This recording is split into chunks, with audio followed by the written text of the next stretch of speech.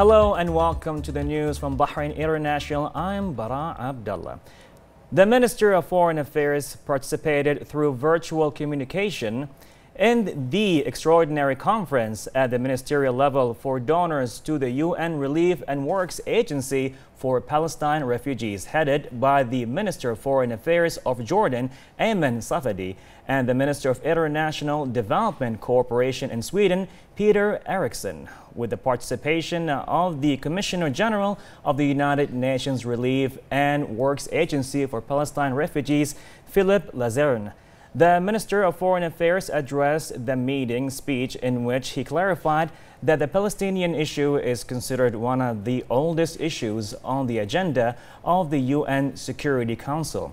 He said that the international community has become indebted to the brotherly Palestinian people and the region on the larger scale, building on these efforts that have continued for many years.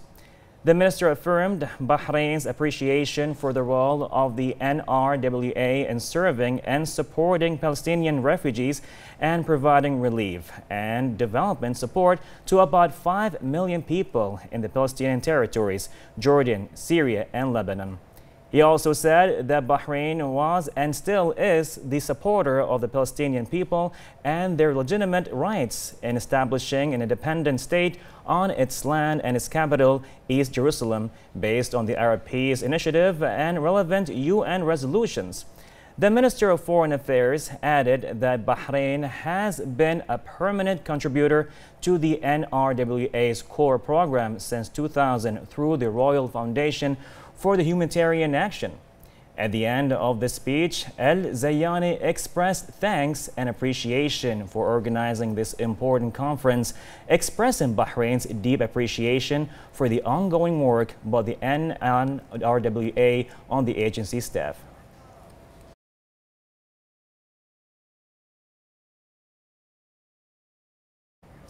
The Minister of Health, uh, Faeqa Saleh, chaired that meeting of the National Committee to Control Smoking and All Types of Tobacco and its Products which was held remotely, the minister affirmed the high level of efforts and community partnership of all government and civil authorities in cooperating to implement the decisions of the Government Executive Committee led by the His Royal Highness the Crown Prince Deputy Supreme Commander and First Deputy Premier to protect the health and safety of all the health minister stressed that need for fulfilling the efforts among all concerned authorities and for making plans and preventive policies in the next stage that are all in accordance with the efforts of the National Task Force to combat the coronavirus. The minister noted the importance of committing to all precautionaries and preventive measures to combat the virus adding that the decision to close shisha coffees and cafes and limit their activity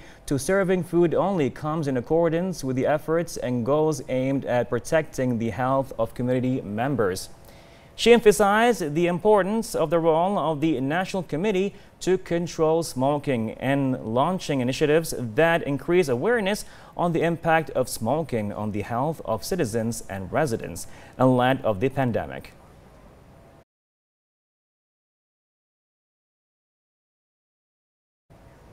The National Task Force for Combating Coronavirus today held a press conference at the Crown Prince Center for Training and Medical Research at the Bahrain Defense Force Hospital to highlight measures taken to mitigate the spread of COVID-19. The Undersecretary at the Ministry of Health and member of the National Task Force for Combating Coronavirus COVID-19, Dr. Walid Khalifa Al-Manai, highlighted strengthened precautionary measures undertaken by the Ministry of Health to protect frontline workers and provide safe working conditions. Dr. Manai noted that safe working conditions are being provided by allocating separate entrances and rooms for health workers ensuring all health workers have access to personal protective equipment, publishing updated guidelines, continuously de-infecting surface, and providing infection control training. He highlighted that frontline workers undergo COVID-19 testing regularly in order to prevent the transmission of the virus amongst responders and expressed his appreciation for the dedication and commitment.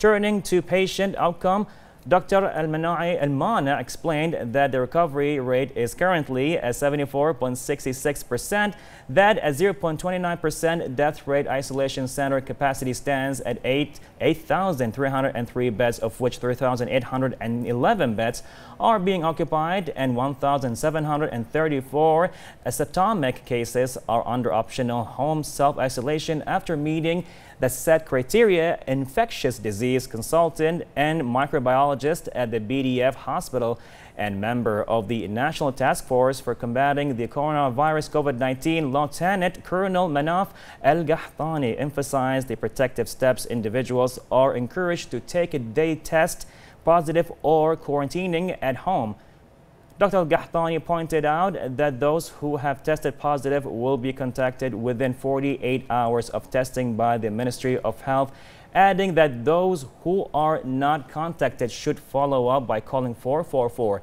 Additionally, Dr. Gahtani reiterated that those who experience severe symptoms such as difficulty in breathing should immediately contact 444 and seek medical care consultant of infectious and internal diseases at Salmania Medical Complex, Dr. Jamila S. Salman noted that the Ministry of Health is continuously expanding COVID-19 testing capacity to identify, isolate, and break chains of infection. Dr. Salman stressed that face masks must be worn at all times when at public sittings, including during outdoor recreation as well as when close proximity to family members with underlying health conditions or when in close proximity to elderly family members, this decision does not extend to when driving cars or participating in strenuous activities such as running, swimming, or cycling. To conclude, Dr. Salman reviewed the health status of active cases, confirming 5,508 stable cases from total of 5,544 active cases. She noted that over 494,000 tests have been conducted to date.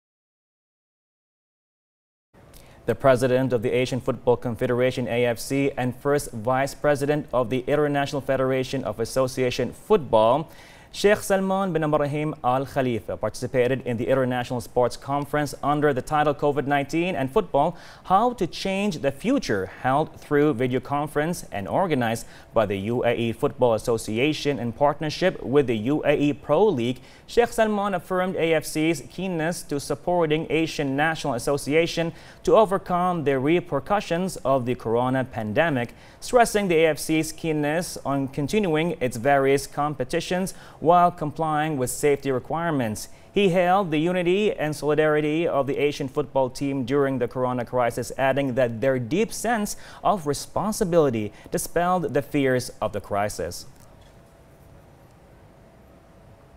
The Ministry of Health said today that the number of coronavirus cases reached 5,544, with 588 recoveries, 655 registered new cases, and one death.